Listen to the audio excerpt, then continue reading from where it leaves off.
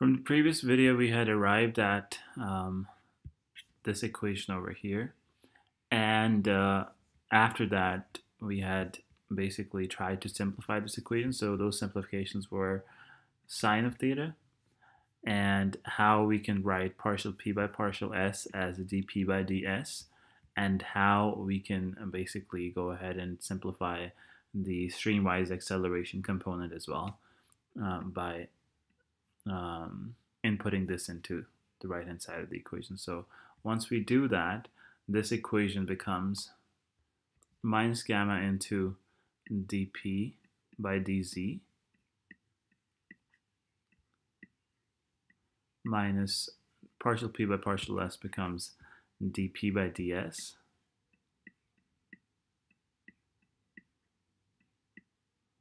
and on the right hand side this equation becomes 1 by 2 into a rho from here into v square in here divided by ds. So this is how we simplified, um, sorry, this was minus gamma into dz by ds here. Yeah, okay. All right, so dz by ds here. Now we've got ds here, and that we can eliminate from this equation throughout. Uh, and we can bring this to the left-hand side of the equation as well. So simplifying this, it would become, um, or I can move these two onto the other side, and they would become positive. So this term over here is going to become dp plus. And this term over here I can write as the second term and it is going to become 1 by 2 rho into d v square. And the third term this one is going to become gamma into dz and this is equal to 0. Now I can simplify this equation even further by uh, by dividing this equation throughout with the density. So this would become dp divided by rho, which is density, plus 1 by 2 into, and what I can do is I can take the integral as well throughout. So this would become integral of dp by rho plus 1 by 2 and integral and derivative is going to get cancelled out so it's going to be 1 by 2 into v square plus um, dividing gamma by density is going to become because this is equal to rho g so it's going to become g into integral of dz which would be z equal to the constant that is going to be on this side now because we've taken the integral. So it's going to be equal to some constant here. And this is the constant which is going to be along the streamline. Or uh, if I was to simplify this equation by assuming that I'm only looking at incompressible flows, then uh, for incompressible flows, the density would be constant.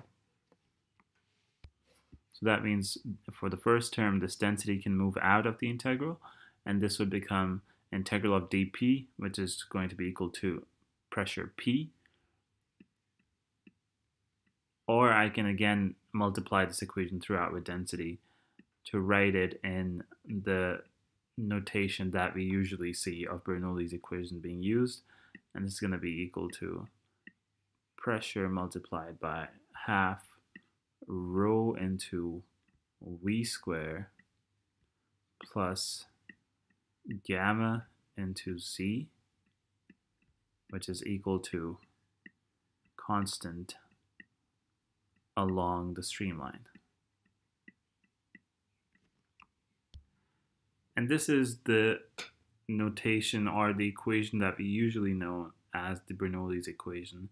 It's a really powerful equation, but we have to be careful with what assumptions we are using. Otherwise, if we apply it to some flow situation without, um, you know, taking into account what assumptions are being used, it may not work out as you would imagine that it would. We have to remember that the assumptions were that the viscous effects are negligible or are being assumed negligible. The flow is steady in 2D. Also, at this point, the flow is incompressible as well now, and this equation is only applicable along the streamline. So across the streamline or normal to the streamline, the equation would be different. So this is the equation that is valid, the Bernoulli's equation along the streamline. Across the streamline, the or normal to the streamline, the equation is this one. I'm not going to go into the derivation of it, but we have to be careful with uh, how we are applying this equation, whether we are applying it across the streamline or applying it along the streamline. Uh, we also have to rem remember the assumptions, like I said, uh, that we've made. And then um, so these are the concepts or these are the equations right and we can also write for example this equation over here by dividing this equation throughout by gamma and then it would become p by gamma which is the specific weight. And gamma is equal to rho g density into the gravitational acceleration plus it's going to become v square divided by 2g because rho is going to get cancelled out plus z is equal to constant along the streamline. And now all of these terms, all three of these terms in this equation uh, represent uh, heads, types of heads. We've got the elevation term here, which is the elevation head. You've got the pressure term here. This is called the pressure head. This is the elevation head. And then you've got the velocity head here. Okay.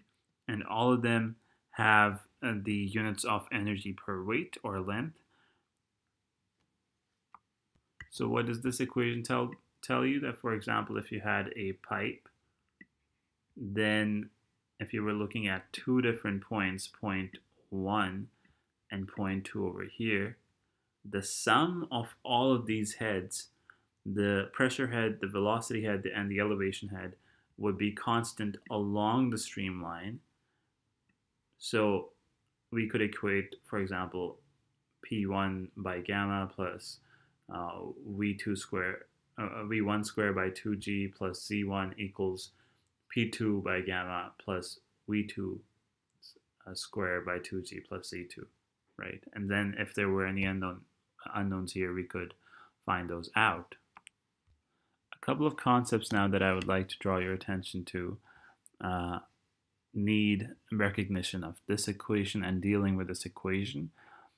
In this equation, uh, each of these terms has the dimension of force per unit area Newton per meter square. The first term here, pressure, this is the actual thermodynamic pressure of the fluid, which means if you were looking at the thermodynamic tables, the pressure that you see over here is the pressure that is being used in this first term. So how do we find out what the values of uh, the pressures would be. So for example, with this first term here, like I said, it's the pressure that you see in the therm in the actual thermodynamic uh, tables. It's the actual thermodynamic pressure of the fluid uh, as it flows. And one way to measure it would be for example, if we were looking at, let's say, this pipe in which we had some fluid moving in with some velocity v, if we, let's say, at this section, at this section, we drill a hole into this pipe, we attach it uh, with this opening here, then the pressure that we would be measuring at 1, that would be equal to what? Pressure at 1, it would be equal to gamma h plus the pressure at 3, the pressure at point 3. And the h over here is going to be equal to, because we're looking at pressure at 1 in terms of pressure at 3, so the h over here is going to be h3 to 1. Okay. So pressure at 1 is equal to gamma into h 3 to 1 plus p3.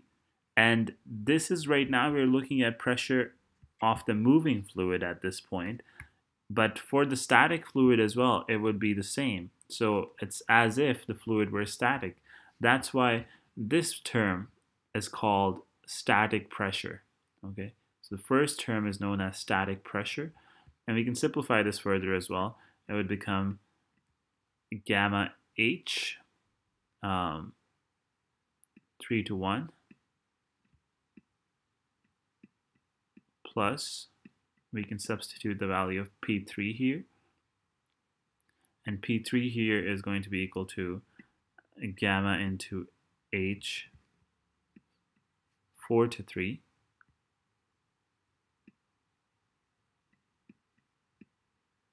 or we can simplify it by taking gamma as the common factor and h3 minus 1, uh, sorry, h3 to 1 plus h4 to 3, that's going to be equal to h. So it's going to be equal to gamma h. Now the second term here in Bernoulli's equation, this is known as dynamic pressure. And how do we interpret this dynamic pressure? So if you were to look at the same pipe again, and we insert into this pipe a tube in such a way that it is pointing towards the flow, so the flow is flowing in this direction, and this tube is pointing in the direction or in the direction of the flow opposite the direction of the flow or upstream to the flow right? So what's going to happen the fluid is going to flow through this pipe or through this tube and fill it up to a certain height, h, for example. And after the initial motion has died down, the fluid within this tube is going to be stationary now, right? It's not going to be moving anymore. So the fluid within the tube is stationary un up until the point 2, up until the point 2, which is at the tip. So because the fluid is stationary here, that means that the velocity at 2 is equal to 0. And this point at which the velocity becomes stationary is known as the stagnation point.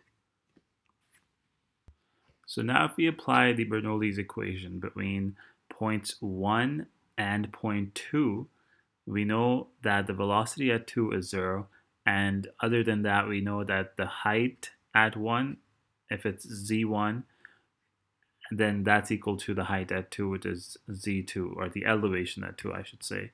So this equation then would become um, because velocity is zero, 0 at 2 so this term is going to go out for 2 this term is going to cancel out on both sides of the equation and we're going to be left with P2 is equal to P1 plus half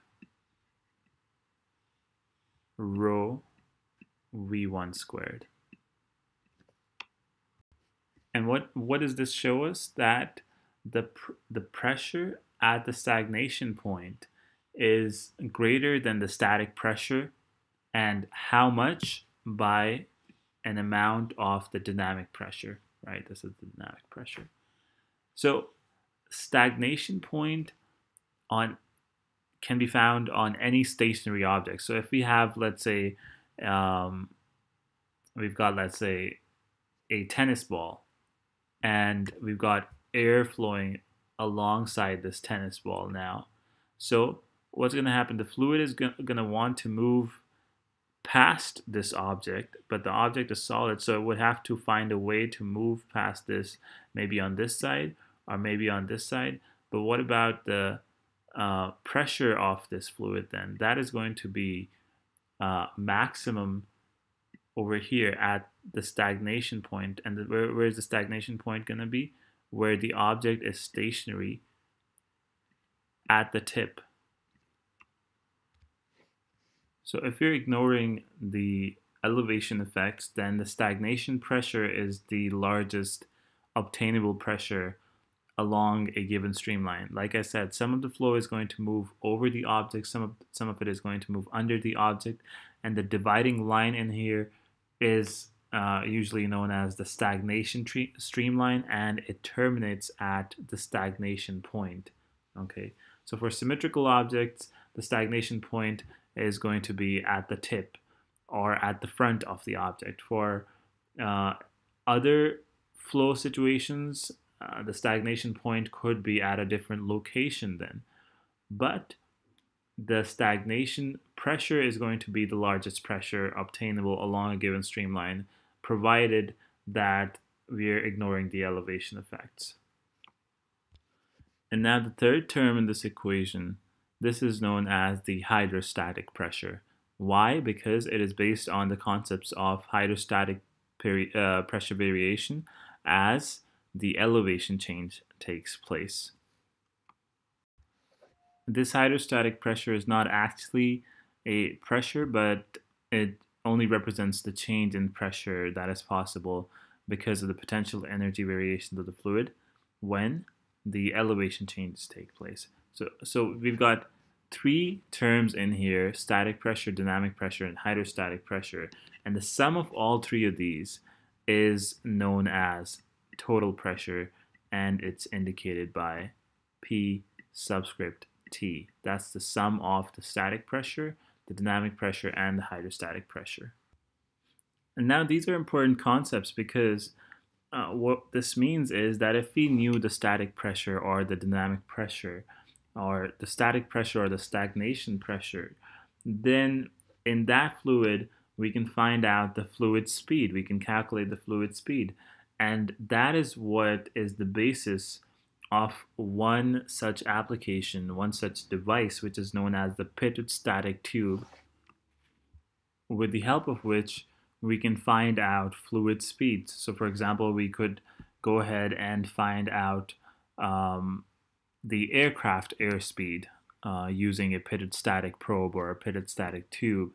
Uh, because for the pitted static tube, the velocity is a function of pressure. That's it. Okay, so if we found out the pressures, we would be able to find out, for example, the aircraft speed. So the pitot static tube basically gives us a simple, a relatively inexpensive um, way of measurement, a way to measure the fluid speed. Uh, but uh, there are precautions that need to be taken, care that needs to be taken, that the values are obtained uh, very accurately, especially the measurement of the static pressure, and then how you align the pitot static tube uh, within the flow, within into the flow direction. That is important as well. And we have to remember that this is only valid for incompressible flows because at high speeds when compressibility has to be taken into account that, that means density is not constant uh, other phenomena start taking place and uh, then we have to account for the shock waves as well.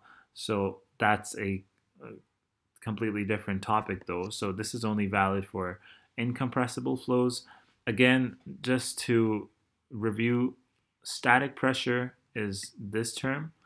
This is the dynamic pressure, and you've got the hydrostatic pressure here. The stagnation pressure is this one, okay, which includes, which is a combination of the uh, static pressure and the dynamic pressure. So this is the stagnation pressure at the stagnation point.